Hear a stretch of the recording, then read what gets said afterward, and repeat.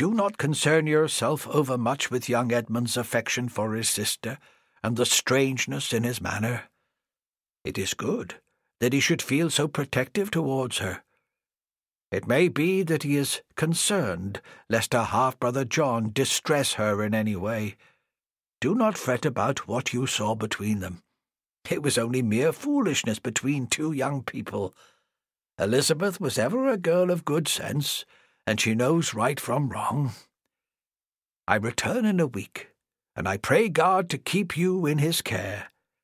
Your affectionate husband, Richard. Written at Bristol, this nineteenth day of August, fourteen hundred and seventy-one.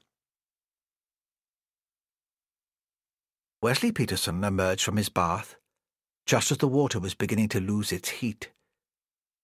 He hadn't arrived home until eight o'clock, and he and Pam had sent out for a Chinese takeaway. Sometimes he felt he was keeping the Golden Dragon in business single-handed. He donned his dressing gown and went downstairs, thinking it was time he and Pam spent some time together. He went into the kitchen and took a bottle of red wine from the rack, not forgetting the corkscrew and two glasses. But when he walked into the living room, he saw that Pam was stretched out on the sofa with her eyes closed. Wesley smiled to himself. So much for an evening of conjugal bliss.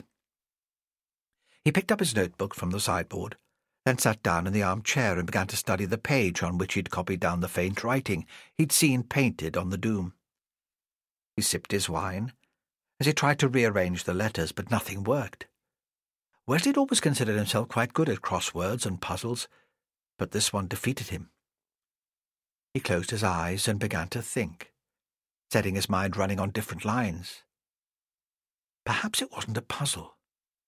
Perhaps it was something that would have been obvious to the villagers of Derrenham in the Middle Ages. The doom was intended to be displayed in a church, after all, and its message must have been meant for everyone.